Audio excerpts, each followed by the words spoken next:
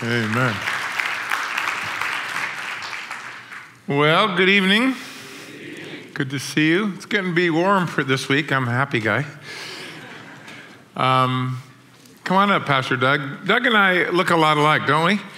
Sometimes people go up and tell him what a great service it was, and he says, "Thank you very much," or. But he's don't like a, correct do- him. a I do- just, I just take it. Okay, yeah, that's right.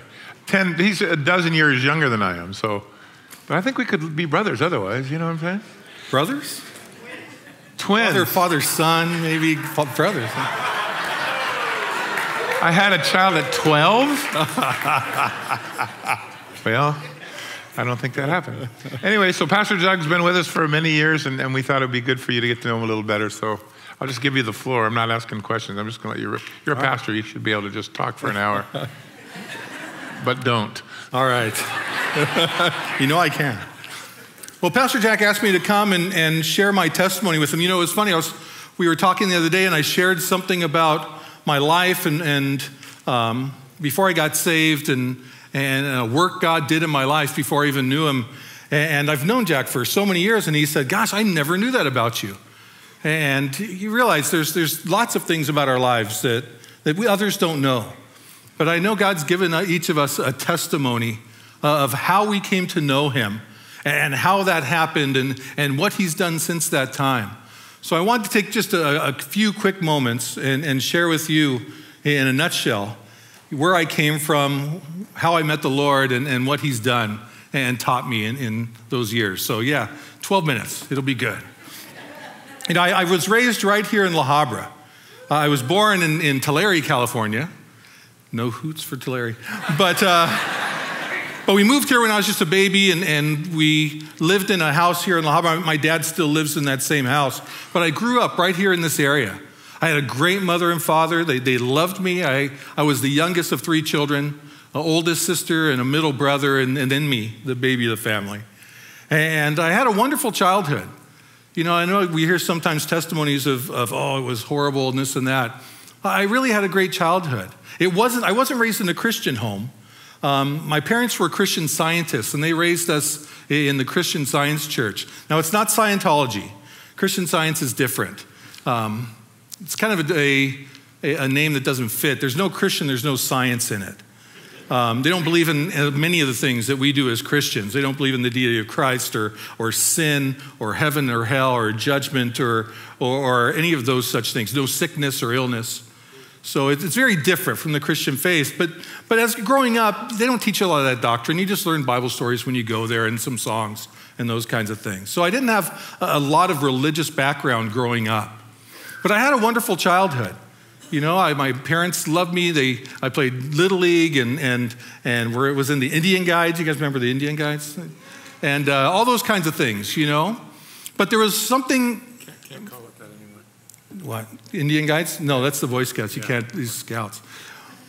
But there was one thing in my life that, that stuck out from a very early age.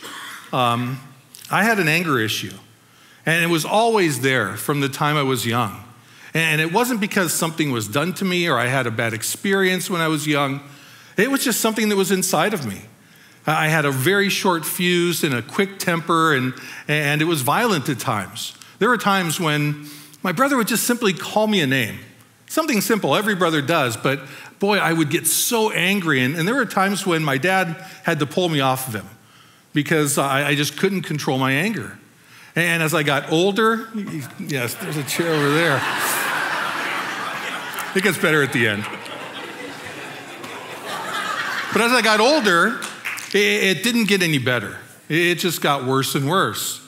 And by the time I was in high school and, and started dabbling in, in drinking and partying and, and even drugs at that time, you could imagine those things were like throwing gasoline on a fire. And it was just out of control.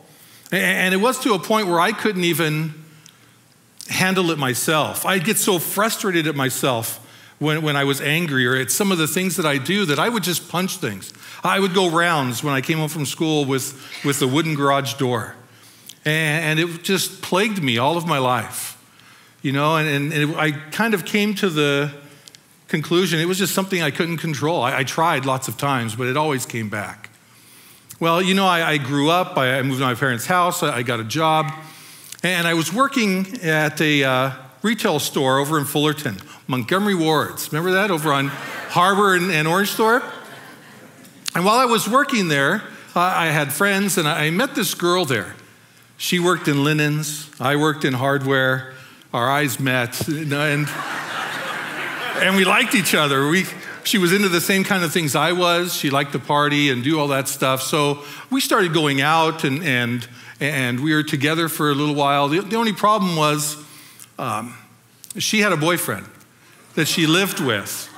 She had had a pretty rough childhood. She was abused by her stepdad. She uh, wanted to get out of there as soon as she could. And when she turned 18, she moved out and had no place to go. So she moved in with her boyfriend. That's what just became comfortable for her. So we went out for a while on the down low.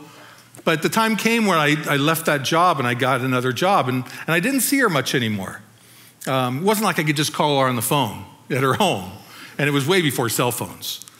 So, you know, I, I lost track with her for a good six, eight months or so. And then we saw each other at a mutual friend's, I think it was a birthday party for a mutual friend. And, you know, there was drinking and all that stuff there. And and she came up and I said, hey, you know, and, and she just seemed different to me. She, I asked her, you know, how you been? What are you doing? Are you still living with that guy? And she said, no, I moved out from there two weeks ago. And she wasn't drinking. And there was something else that was different about her. She just had this joy. You know, I, I, liked her before. You know, she was fun to be with and all those things, but she always had kind of this wall because of what she'd been through when she was a child. And she had this kind of attitude that was kind of like, well, you know what? I don't need you. And if you do something I don't like, fine, you can be gone and I'll be just fine. It was just kind of these walls of protection that she had put up, but, but she was different now.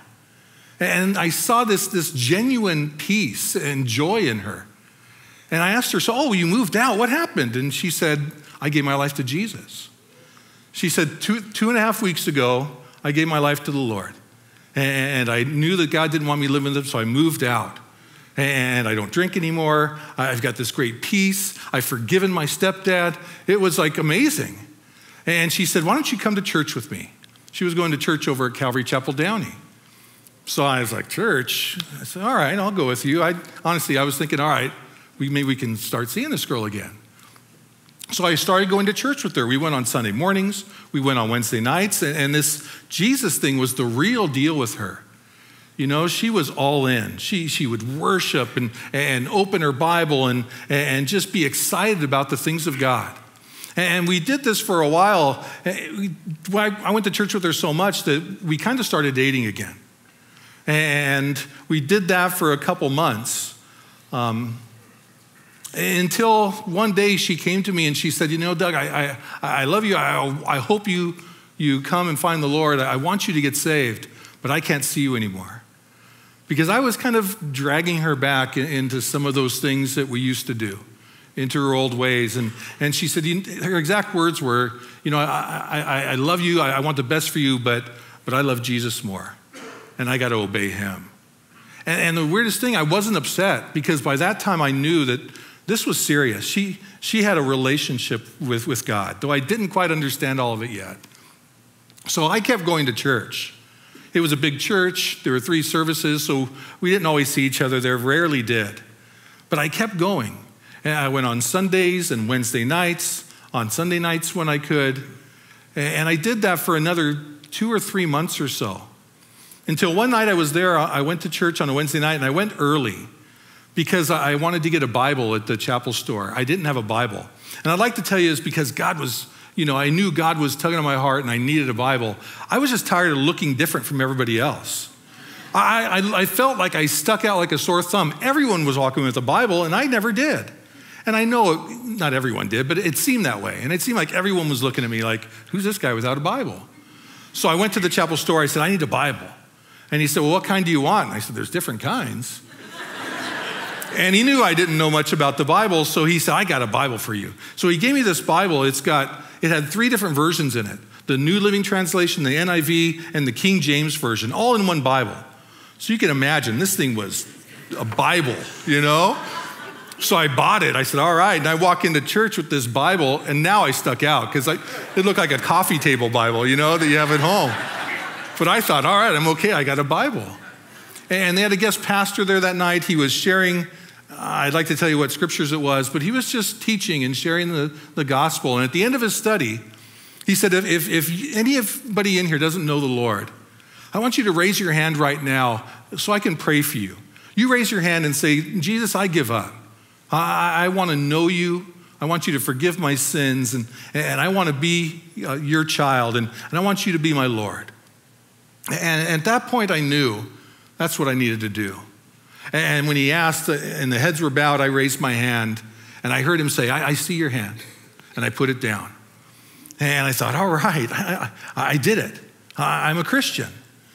And then they started to sing the last song, and, and he said, Now, if you were one of those who raised your hand, I want you to come down here in front because I want to pray with you and I, I, and I want to, to give you something, some Bible studies to take home with you. And I remember sitting there going, No way. I raised my hand, the Lord saw me, I, I'm not going down there. And they sang the song once and they sang it again. And, and he said, We're going to sing it one more time and then we're going to pray.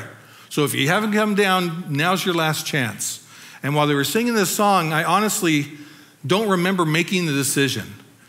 I just remember all of a sudden saying, Excuse me, to the person next to me, and I was headed down front. And I'm so glad that I did. I went down, and there was a, a gentleman down there that, that prayed with me, you know, shared with me what, what, what God had done when I called upon his name, gave me some Bible studies to take home, and sent me on my way after church. And man, I was just excited. I, I knew that I knew that God had taken away my sins. I didn't understand the, all the, the things that He was going to do in my life. I was just thinking, I'm going to heaven. I don't have to worry about all the stuff that I've done before. But God would soon show me that, that He was going to do much greater than I'd ever thought. From that night on, never once did I want to drink again. I, I never wanted to do another drug, never had a, a, a temptation or a, a uh, wanting to do any of those things. My anger, God started to work on that. And he, he started to take away my anger for, for people. And he's still kind of working on my anger for things. You know, I get frustrated sometimes when things don't go my way. But God has been doing such a, an awesome work in my life. And, and the only people I knew who were believers was that girl, her, her sister, and a friend of hers.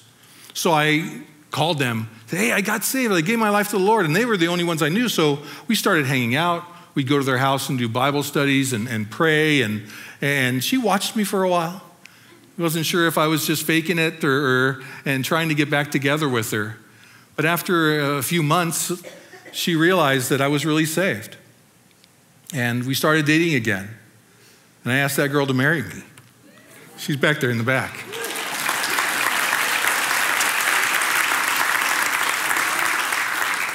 And we got married over at Calvary Chapel Downey in 1988. We'll be married 30 years, uh, June 18th.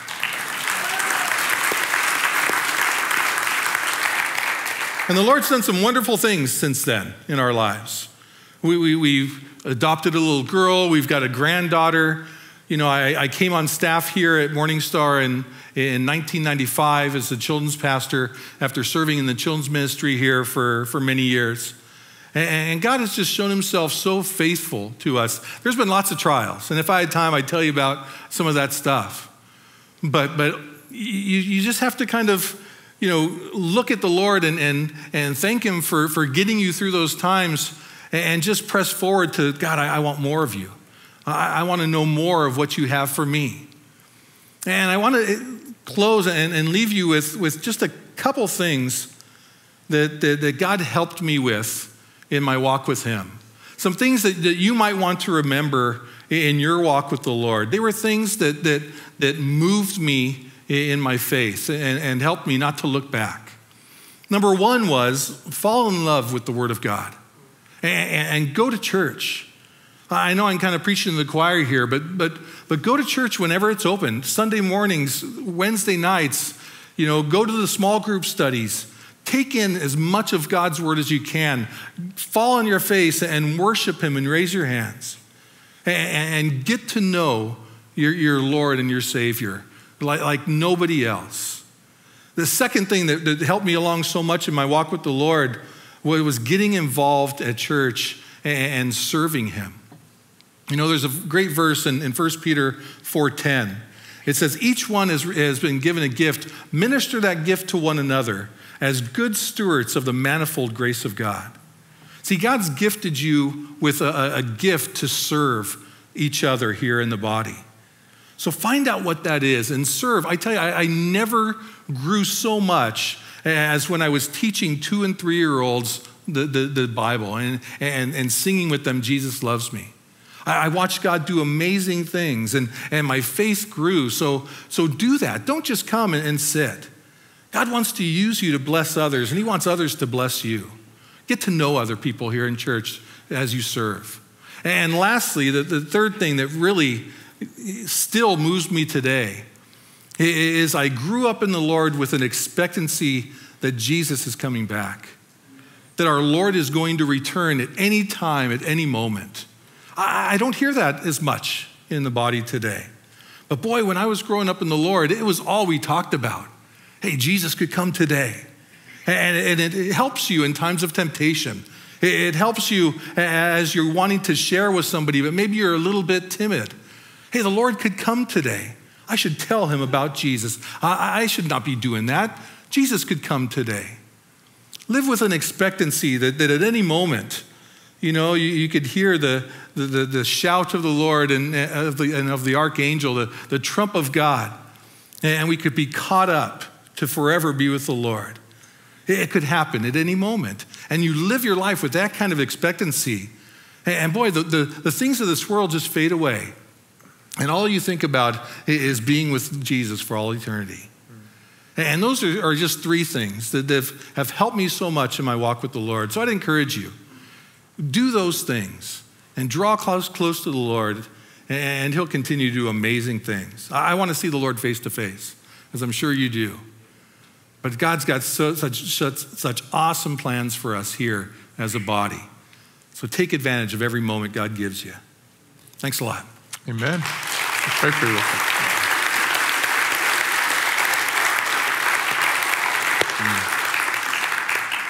All right, let's pray for Pastor Doug. Father, we thank you for the ministry that you've given to Doug, for his many years of serving here in the body, and, and just for the plans you have down the road for him yet. And may you continue to draw him close, give him hope. That love that he has for you and, and for your word, may it not diminish but may it even grow stronger as the days go by. That you would be honored and glorified in his life and his family's life. That you would touch his family that isn't saved, those that don't know you, that he's been praying for. That you would intercede and, and do great things. And Lord, we thank you for uh, setting over us a, a, a, shepherd with a heart to serve you. May you uh, keep your hands upon him and his family, we pray. In Jesus' name. Amen. Everybody, bless you.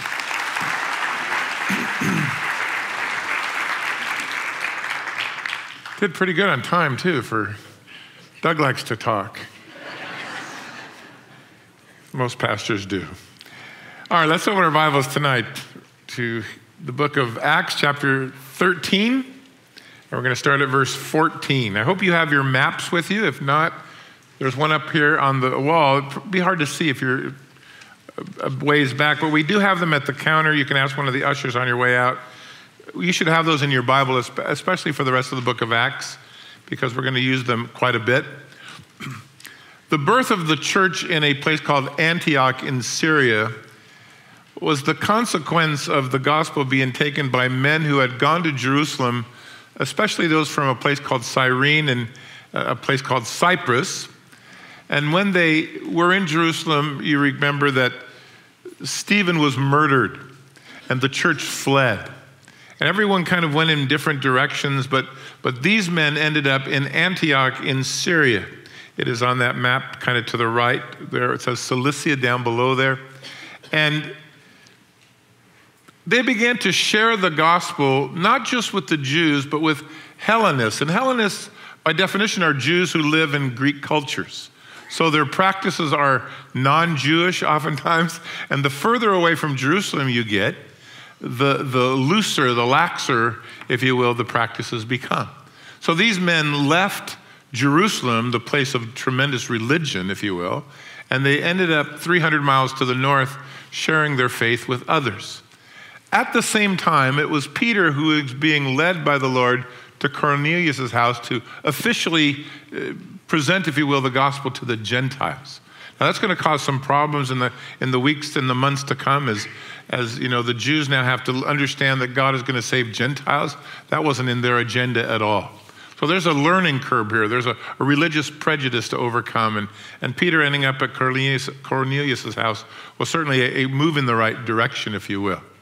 But as this church in the north began to grow, Jerusalem got wind of it. They sent Barnabas there to check it out. He traveled the 300 miles from Jerusalem to the north. He spent quite a while just encouraging the saints, answering Bible questions. He was kind of an OG in the, in the church, right? He was an original guy. So he was, he was just sharing, and, and, and people were being blessed. The church began to grow. Barnabas didn't think he was a teacher.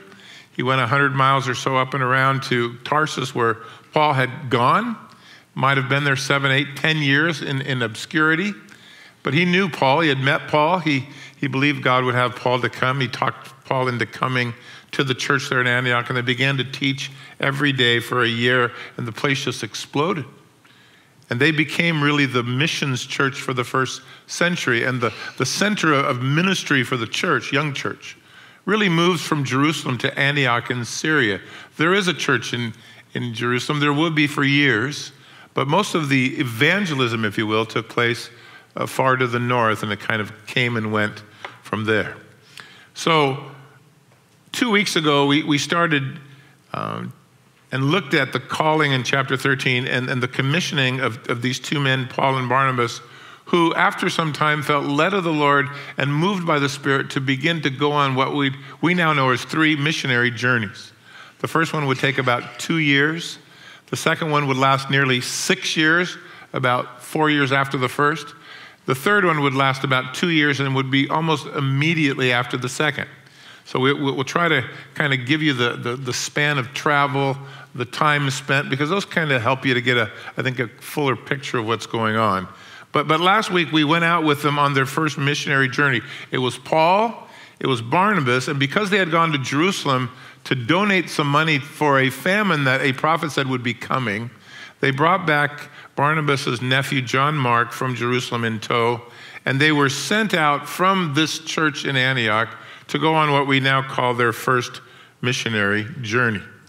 They went down to Seleucia, it is the port city there uh, in Syria, if you will. They got on a boat, they headed for Cyprus, a hundred miles away to the uh, eastern coast of Cyprus, a place called Salamis. They landed, they went to the Jewish synagogue, which is a common practice that Paul would pick. He went to the, the Jews first.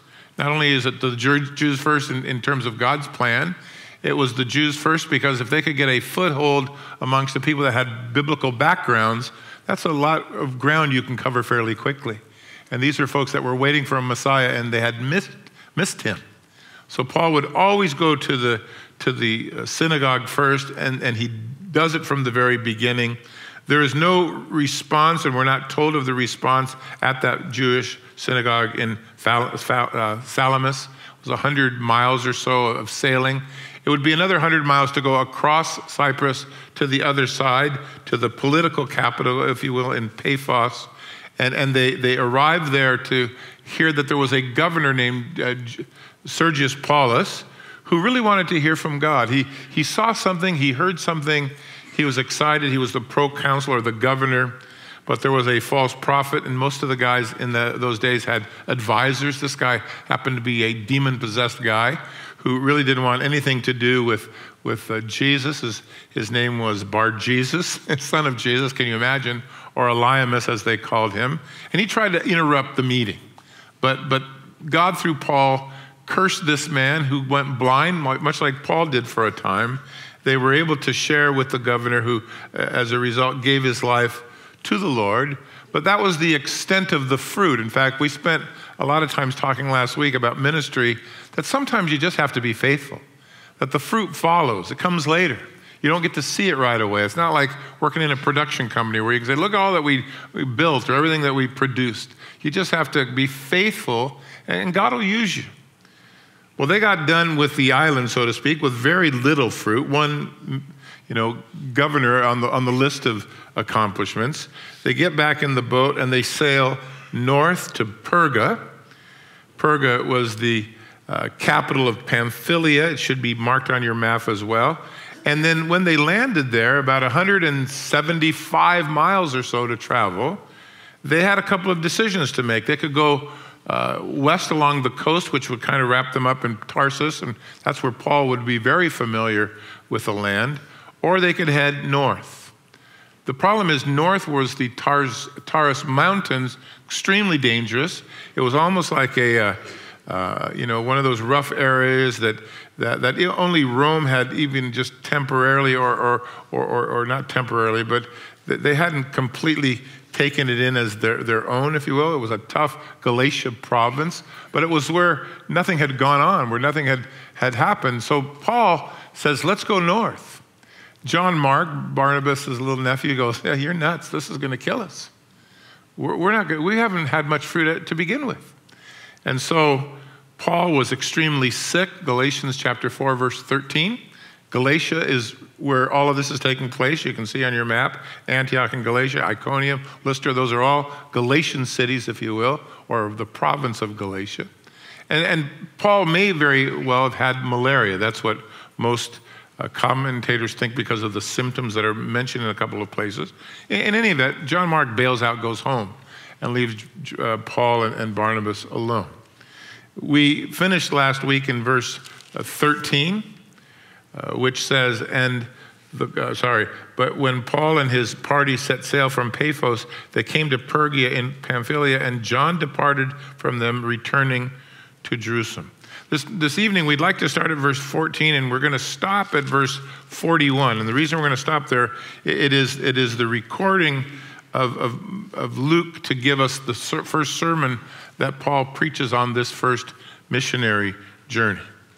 In Perga, uh, all of Galatia, it seemed, was on Paul's heart. He didn't want to go west, he wanted to go north. The thing is, the, these Tarsus mountains, for him to travel to Antioch on your map there, is about another 100 miles. And it's 3,600 feet up and over. It is filled with uh, extremely bad people, if you will. The, the Romans, like I said, had only partially tamed it. Um, I'm sure that Paul heard stories about this place as a kid because he grew up um, east of there, if you will. But these guys, if nothing else, as, as missionary, had, had a tremendous faith and adventure and kind of fearlessness. Um, Dan Finfrock, who is a, a, man that, a man that we've supported for years, I've probably known him 30 years or so, called me up last year and invited me to go to Iraq with him. And I, I said, Where are you going to go? He says, Well, I'm going to teach some pastors in Iraq. I said, How are you going to get there? He says, We're going to sneak across the border. And I said, Let me just pray about that. No. And I didn't even bat an eye. But before he hung up, I prayed for him. I thought, you know, you got to be a, a, guy that's called, right, to do these kind of things. And I think that's true of, of Paul and Barnabas. They, there was nothing that they were afraid of. It, it does seem, as you read through the account this evening, that Paul and Barnabas did not stay in Perga where they landed to evangelize the city. There's no mention made of it at all. When we get to chapter 14, maybe verse 25 or so, on the way back, they'll stop there and their ministry will continue. But for now, he had his sights on getting over the mountains and getting out into the wilderness and kind of surviving the trip, being led of the Holy Spirit. And so they set out for the Galatian area without John Mark the trip was apparently made without incident. We're not told of anything that took place. But they eventually, notice, come to this place, uh, Antioch, different Antioch. This one is Antioch of Pisidia. And they head first again um, to the synagogues. So we read in verse 14 when they departed from Perga, they came to Antioch in Pisidia. They went into the synagogue on the Sabbath and they sat down. And after the reading of the law and the prophets, the rulers of the synagogue sent to them, and they said, Men and brethren, if you have any word of exhortation for the people, say on. And so Paul stood up, motioned with his hands, and said, Men of Israel, and you who are uh, fear God, listen.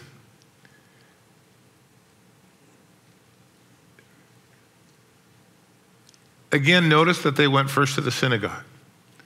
There was always that desire to, to get an open door to preach Jesus to people with biblical background. It, it's kind of like you going to share with somebody that doesn't know a Bible at all. For example, when, when Gerard and I, a couple of years ago, were teaching a, a, a pastor's seminar in, in uh, Japan, the Bible is not a, a Japanese book. To them, at least the unbelievers, it's just a Western book. So you can't start there. You have to start somewhere else. And Paul, with the Gentiles, couldn't start with the book of Isaiah or, or, or, Moses or David or the Psalms. He had nothing to go on except, you know, you're brokenhearted, you, you're hopeless, you, you're guilty, you, you can't overcome sin. I mean, you go to the, the, the, basics of experience. But if you can go to the Jews and say, look, the, the prophet Isaiah said it, and, and Jesus fulfilled it, and, and the prophet Micah told us, and, and, and, and go through the scriptures, and you can win some of them to Christ, now you've got, you know, a built in work. And so wherever the, there were synagogues, Paul, you would find them in a local synagogue. And these were people that God had prepared for 2,000 years with prophets and with teachers and with types and with stories of God's faithfulness. They were the people that had been promised a Messiah. He hadn't come as far as they were concerned. Paul could tell them and show them otherwise. Now, Paul, because he was a rabbi for years from the most prestigious school in Jerusalem, a guy named Gamaliel taught this particular school that he was on, I am sure that if they knew about him at all, he'd be invited to speak. You know, he was the celebrity of his generation, if you will. Uh, I don't know if here off the beaten track they were uh, aware of him, but he almost everywhere he went got an initial invitation to speak. He oftentimes didn't get a second invitation to speak. You know, he wasn't burning his bridges, he was just using them well. And Paul always hoped to get a quick harvest that could become the nucleus of a church that he could leave behind by talking to folks who had a working knowledge of the scriptures. So we, we start here in verse 16 with Paul's first full sermon from the road, very similar to Peter's sermon, very similar to uh, Stephen's ser- uh, uh, sermon. And here's the similarities. And maybe you know, Pastor Doug's teaching a class in one of our Glow classes now on giving your testimony. I said to him today, You better do good. You're supposed to be teaching others how to do this. But uh, you find that the same approaches used by Paul and by Peter and by others, there was always a, a, uh, a review of past history so that you could bring people in with you. There was always a focus on Jesus being the proof of his deity and his, and his person by the, the promises and the prophecies of the Old Testament. There's always a talk about his death at the hands of wicked men, his resurrection, and always a call to those who are listening to receive him by faith and be saved. History past, the fulfillment of Jesus' uh, life to the prophecies that were given, his death and resurrection, and this invitation. Paul had stood in the crowd and listened when Stephen had spoken, you might remember? He had held the coats of those who had stoned Stephen to death. Stephen may have wondered, dying, if his life had done any good. I mean, he, he looked like he was losing or he had lost. What he didn't know on this side of heaven was the impact he was having on a man named Saul, who was still very angry and, and, caught up in his religious ways, and what eventually his teaching would do to this man. Isaiah would write in chapter 55 that the word of God goes forth out of God's mouth and it never returns to him void. It, it always accomplishes what God pleases, it prospers in the things to which, to which he sends it. Stephen didn't see that.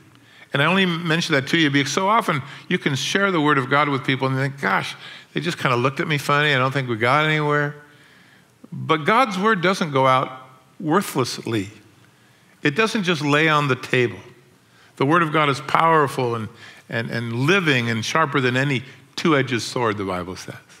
So, for us going out to share, um, sometimes I think about Stephen. You know, Paul and his fruitful ministry, this whole entire book of Acts, the rest of it, and many of the epistles are the, re- the direct result, in some cases, of, of Stephen's faithful preaching. So, don't give up sharing because you're not sharing an idea or an opinion, you're sharing God's word which he stands behind. You have the full authority of the Lord behind it, right? The, the, the power of God. So Paul and Barnabas make it through the difficult travel. They get to the synagogue on the Sabbath. They sit amongst those that are very steeped in tradition. I'm sure that in the synagogue there were people hungry to know God, but they were blinded by their religious kind of unbelief. They sat through the reading of the prophets, a typical practice on the Sabbath, the reading of the law. And then they were invited to come and stand before the assembly to speak. I, I suspect that's exactly what they were praying for, and now they get their opportunity. Because acts as a narrative, you really do need to read through the narrative and say, Lord, what am I supposed to learn here? And here's something you can learn from Paul watching uh, him travel in these, over these years, and that is God will use you if you're available. Now, maybe that's overstating an obvious fact, but if you're not available, guess what? God can't use you.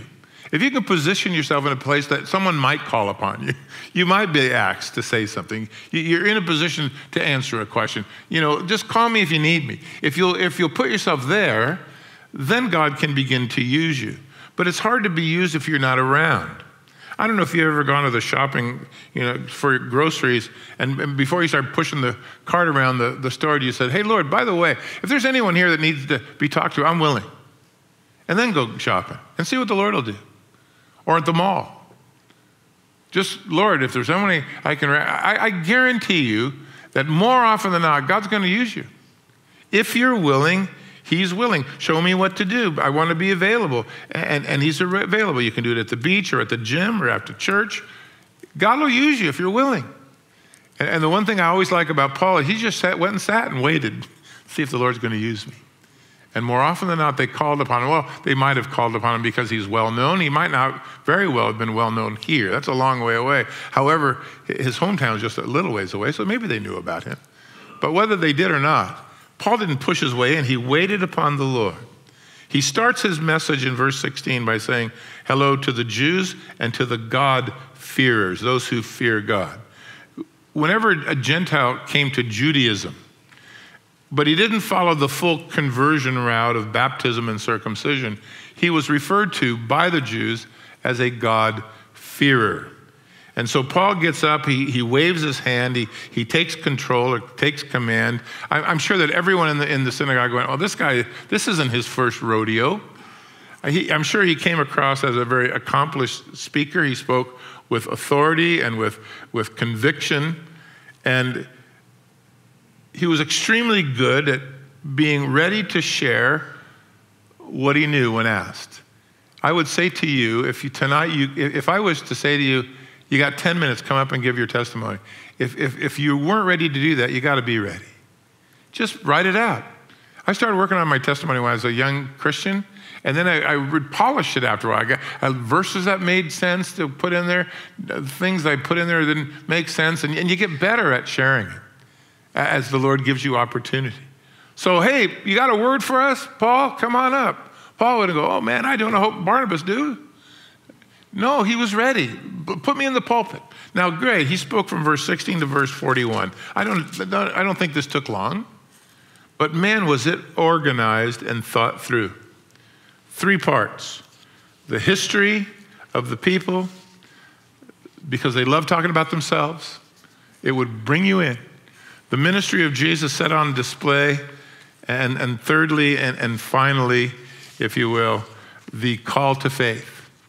That's really how this lines up. Verse 17 through verse, oh, let's see, verse 30, uh, 22, let's put it there. The history of the people. Verse, and he, and he does it very general and broadly. Verse 17, the God of this people, Israel, chose our fathers, exalted the people when they dwelt as strangers in the land of Egypt, and with an uplifted hand, he brought them out of it. It was a common practice in preaching, and, and, and it, sure, it, it always assures good ground when you speak to Jewish audiences to speak about Jewish history. Like I said, there were a few subjects they would rather talk about than the fact they were God's chosen people. That's still true today, by the way. It is good to come to church as often as you can. I'm glad to see you here during the week with your Bible out. I wish we could sell that to the other 2,000 people that show up on, t- on Sunday mornings. Uh, maybe eventually we will. If you'll pray for them, that God will show them. I know not everybody can make it, but man, a lot more people could make it than do. But, but you have a great advantage being here because you can, if you stick with us long enough, be able to rightly, I think, divide the Bible. You'll be able to tell the Jewish history, how God raised up a people, how he delivered them from Egypt. You know the story. You, you should be able to communicate it in a way that would benefit others, right? It, it helps you in your growth. Paul begins with these words God of, the God of Israel chose our fathers and then exalted us as a people. Notice that the work of God always starts there God chose. God chose Israel as his own. He would tell them, it's not because you're the best, the smartest, or the, or, or, the, or, the, or the baddest, or the greatest, but I've just set my love upon you. It was God's choice. Israel was in Egypt for 430 years. The first 30 years with Joseph, the last 400 as slaves making bricks, sometimes with spit. It was a horrible existence. How many bricks did they make? I saw an interesting study a couple of years ago. I, I forget the, the, the TV show that I saw it on, but it was a, a reporting, and it said if you take all of the bricks out of the Sphinx and the pyramids, you could build a wall 15 feet high and 10 feet thick from here to Brooklyn. So that Trump wall is nothing. The Jews were building a lot more. Um, no exaggeration. Can you imagine that? 15 feet high, 10 feet thick, from here 3,000 miles across the country. That's how many bricks are found just in the pyramids and in the Sphinx. So they were stuck for 430 years. Paul doesn't go into any of that. He just goes, Yeah, God chose us, and for 430 years we were in bondage. And then God, with his strong power, brought us out. So, this quick review, not, not really detailed, a sermon outline, if you will. It is, it is good to know that he's sharing the scriptures, but not having to get into all the minutiae. His point was this God chose us, and then when He wanted to, God delivered us with His uplifted arm or on His hand that it, or arm that was lifted high. God is, in other words, powerful, right? The heavens were flung out by the fingers of God, we read in Isaiah. The, the, the Pharaoh was, was, was, was, he saw hopeless slaves that he could control. He was very much mistaken. They served a God that was stronger than anyone or anything. So he starts immediately with their history. God chose us, God delivered us. And then, thirdly, verse 18, for about 40 years, he put up with us and our ways in the wilderness. We had been so faithless, but we had served a God who had chosen us, delivered us, and had been so faithful. So they had shown a, an offhanded kind of indifference to the Lord. You know the stories. Paul doesn't go into it except to say God was good to us even when we weren't good to the Lord. He tolerated our complaining, our murmuring, our unbelief, our rebellion. He put up with us. That's exactly what he says here. A faithful God with his unfaithful people that he fed and led and protected because God, our God, puts up with a lot from us, doesn't he? And so Paul's just saying he's, he's a loving God. He chose us, brought us out. We weren't very faithful. He stuck with us. Everyone's on the same page now. Verse 20, after that, he gave them judges for about 450 years, all the way until Simon, uh, sorry, Samuel the prophet. Finally, he brought them into the land, and by his power, he gave them victory. I skipped a verse, didn't I? Did I, or I did not? Don't yell at me. Verse 19, is that where we skipped? And when he had delivered seven nations sorry, into the hands of the, in the land of Canaan, he distributed this land to them by allotment. So he's just going in order. He brought them finally after 40 years. They had to go wandering into the land. You remember the seven and a half years under Joshua. Um, the seven main tribes are mentioned in chapter 7, verse 1 of, of Deuteronomy. Uh, the Gershites, Ammonites, Canaanites, Perizzites, Hittites, Jebusites, and there was another word, uh, Canaanites maybe. Anyway, there's seven there. Um, God moved the resistance out of the way. He established his people. He reminded Israel constantly of the fact they could have never taken it on their own. We, we were blessed by God. He was our strength. We shouldn't walk in pride, but in faith. Verse 20, which I've already read to you, for the next 450 years, the land over which God watched, God sent them judges. Now, if you were with us when we went through Judges, you know that it was one of the worst times in Israel's history. the, the reason these judges came is because God kept sending uh, enemies to overthrow his people so that they would get on their knees and cry out for God's help again and, and quit being so cocky. And the Lord would raise up a judge and he'd get them off the hook for a while and they'd go right back to again. We called it syndrome. It was just uh, over and over and over again, these waves of unfaithfulness. During that 450 year time, the people repented and God continued to forgive. Every time He put the pressure on, they turned back. God was a patient God. In fact, if you read the last five chapters of the book of Judges, it'll serve as an appendix to the book. You can get the whole book's kind of the theme in those last five chapters to see how bad it was had gotten. Well, at the end of those 450 years, here comes Samuel the prophet. By the way, Samuel was the last judge. He is also the first prophet to the nation in an official capacity. Moses was a prophet, but, but this was an official kind of place where, where God sent him to the people throughout the land, preaching and challenging and, and causing for reform. So until that time, and afterwards, verse 21, they asked for a king. So God gave them Saul, son of Kish, a man of the tribe of Benjamin. He was 40, and he ruled them for 40 years. And when he had removed him, he set up for them King uh, David as king to be uh, to whom also he gave testimony and said, I have found David, the son of Jesse, a man after my own heart, who will do all of my will. Up to this point, Israel had been a theocracy. The, the nation asked Samuel, and they said this to him, um, 1 Samuel chapter 8, Could you give us a king like other nations? We want to be like the rest of the people. The, the sin wasn't in asking for a king, the sin in wanting to be like everyone else. I want to be like the world around us. That was the problem. And so they rejected the Lord. Samuel came to the Lord in tears and said, They don't want you. No, what he said was, They don't want me. And the Lord said, No, no, no, they haven't rejected you. They've rejected me. So I'm going to give them what they want. I'm going to give them Saul. The word Saul means requested one. You want a big, tall, good looking guy, a politician with a wavy hair? You got it. Head and shoulders, good looking. That's the guy. We're all voting for the guy that's look good looking. Turned out to be a horrible disappointment didn't walk with God, didn't serve the Lord, was eventually taken out of the way. And instead of Saul, God gave them who he had chosen. He gave them David. God was not impressed with Saul's size and good looks like the people were. He had a small soul. And God set him aside. But, you know, how tragic when you get what you want and it isn't what God wants. So God removed him, we read here. He had warned Saul for years. He finally removed him by sending him after the Amalekites. The Amalekites were, were a group of folks who had been a, a thorn in Israel's tide for their entire existence, at least coming you know, through the wilderness and all. Uh, he took 2,000 or 200,000 footmen, 10,000 soldiers from Judah. He was supposed to wipe them all out livestock, king, everything. Save the best livestock, held the king for ransom, argued with God that you know, he saved the best just to serve the Lord with and to use as a political pawn. And the Lord said, you know, to obey is far better than sacrifice. I don't want that stuff. I want you to listen to me. 20 years later, uh, Saul would, would, would be killed by an Amalekite. Never leave residue of your flesh laying around because it may catch up to you. That's, I think that's why we read, reckon the old man dead completely so. Don't flirt with disaster.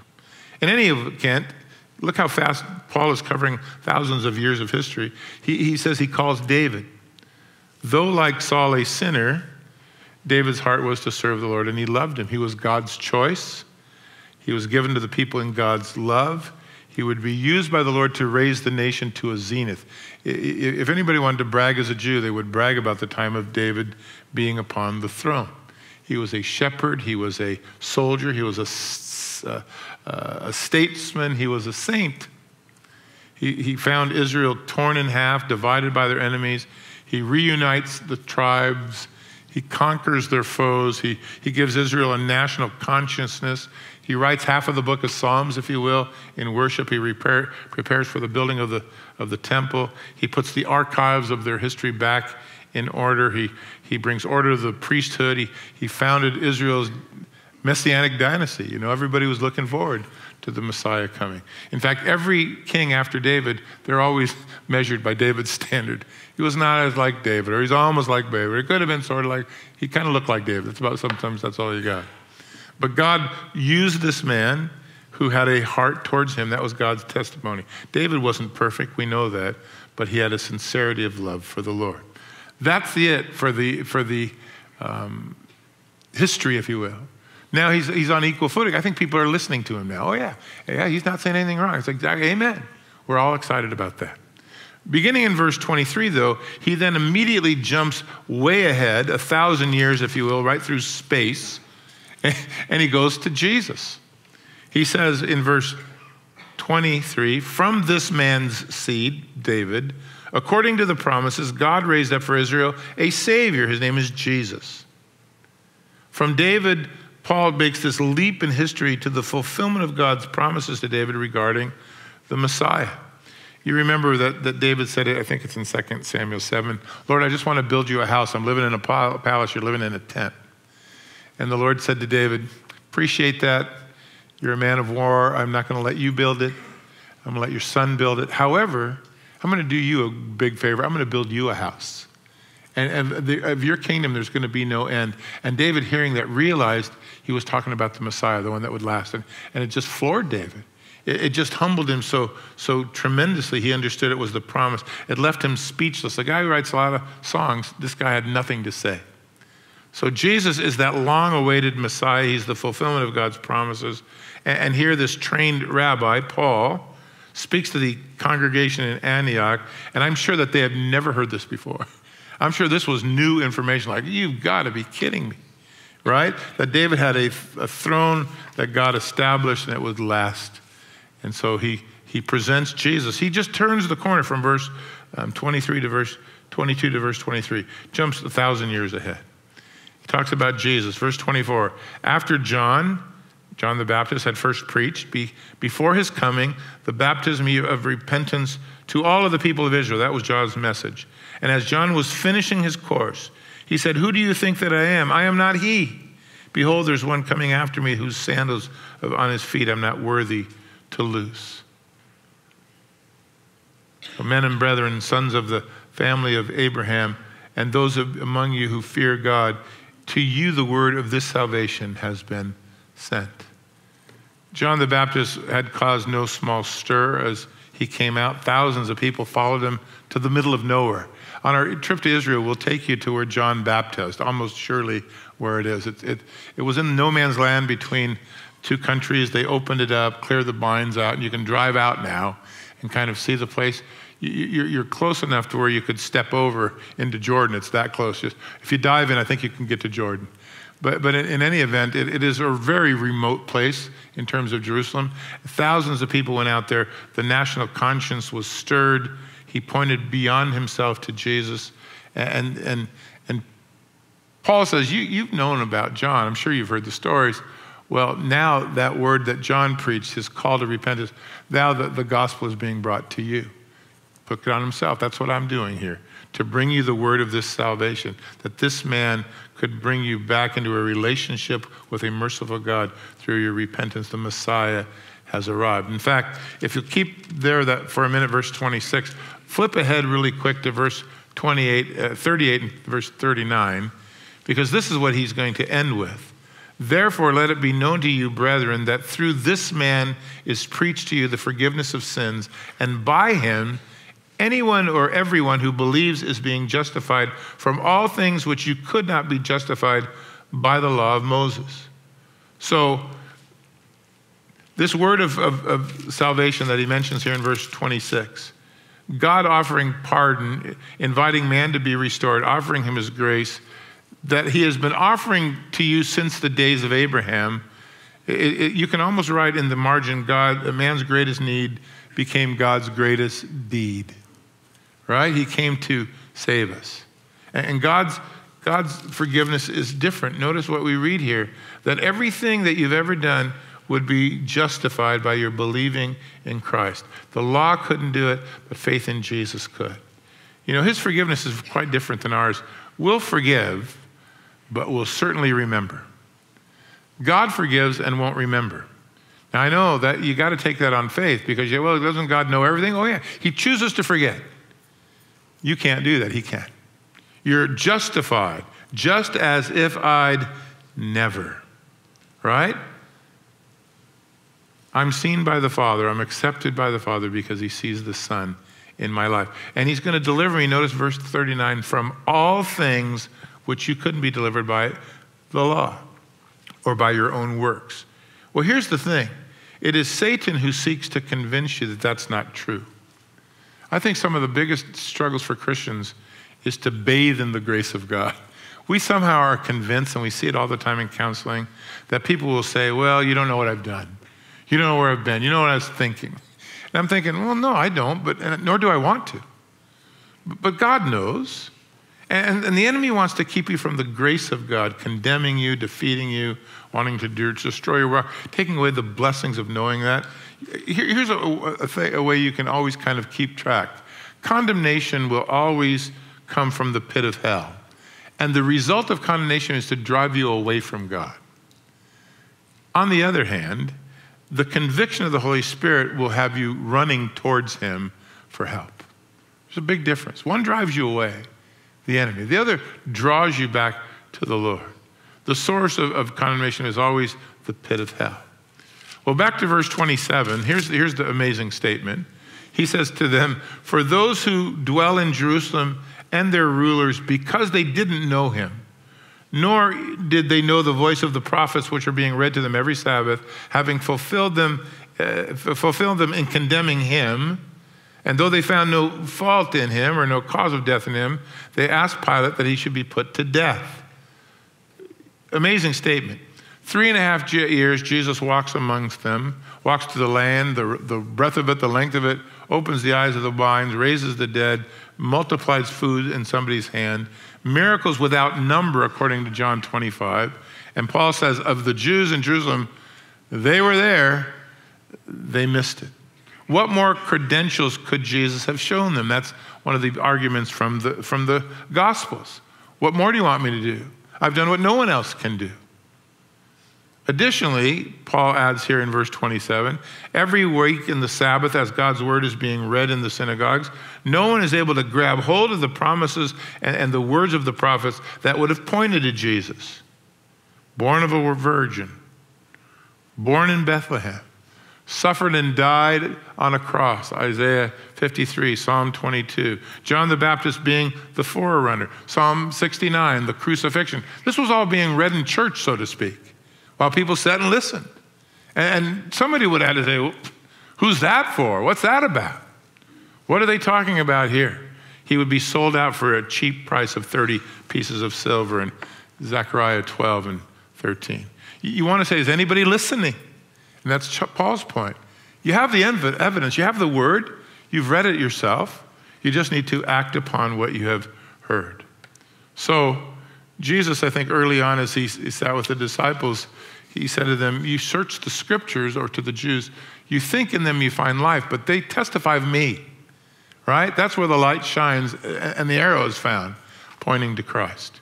So, you know, it should warn us, I think, that it's easy to sit in church every week and you can sit here for years and never grow. There's the possibility exists that you just kind of roll in and out and and, and yet, even if you're taught faithfully, it doesn't get in and change you at all. It happened for uh, one synagogue after the other. Not heeding the word, not listening to the Spirit. Jesus kept saying, if you have an ear to hear, listen to what the Lord is saying to the church. So that we should be careful. So, may we not become dull of hearing, maybe become doers of the words and listen to God personally. But, but Paul points out in verse 27 this has been out there in his work and his ministry and that of John's and the prophets. They, they, don't, they don't, and didn't understand that in, in asking for Jesus to be killed, they were actually fulfilling the very scriptures they were uh, ignoring. Though they found no cause of death in him, they talked Pilate into killing him. They did that by with political pressure. If you've been with us, we've gone through that. They forced his hand through all kinds of threats. They said, you know, we have a law, and by uh, our law, this man should die. He thinks he's God. They said to Pilate one time, if you don't, you stand with this guy, you're no, no longer friends of Caesar. I mean, Pilate was just on the hook, and, and he, he voted for himself to be surviving this whole thing. Verse 29, Paul goes on and he says, Now, um, when he had fulfilled all that was written concerning him, they took him down from the tree, they laid him in a tomb, but God raised him from the dead. unless things change and, and God carries, verse 30 is going to be my Easter message next year. I'm going to do all of the but gods in the Bible, and there's a bunch of them. When things look tragic and falling apart, but God. When he was dead, but God stepped up. He was seen by uh, them for many days, by those who came up with him from Galilee to Jerusalem, who are his witnesses uh, to the people. Verse uh, 32 And we declare to you good tidings, that promise which was made to the fathers. God has fulfilled this for us through their children, and that he has raised up this Jesus, as it was written in the second psalm You are my son, today I have begotten you. So the, the scripture spoke of his death by crucifixion. They, they, they crucified him. They needed Romans' help. They pressured uh, Pilate to do so. Um, and so, verse 29, 30, and 31, he, Paul writes what, what man did and then what God did. What man did, what God did. And they had so many witnesses that would have settled any court question. There were plenty of them. But notice in verse 32 that the, that the tomb is not the end of the story. Death could not hold him. And so there's good news, right? Glad tidings, the promise that God made, God has fulfilled in raising Jesus from the dead. And Paul begins to quote scriptures here to speak about the power of God and the promises of God. He quotes out of chapter 2, verse 7 of, of Psalms, applying it to the resurrection, to the children of the fathers Jesus is the way of life that he provided. In verse 20, uh, 34, and that he raised him from the dead no more to see corruption. He had spoken and said, I've given you the sure mercies of David. Therefore, he also says in another psalm, You will not allow your Holy One to see corruption. For David, after he had served in his own generation with the will of God, he fell asleep and he was buried with his fathers. He did see corruption, but he whom God raised up sees no corruption. So he quotes out of Isaiah 55, uh, 53, he quotes out of Psalm 16. He, he, literally says this David died corruption, he, he rotted in the grave. The, the Son of God, the Messiah, he died, but he rose. There was no corruption found in his life. God triumphed over death. Verse 38, 39, we just read it.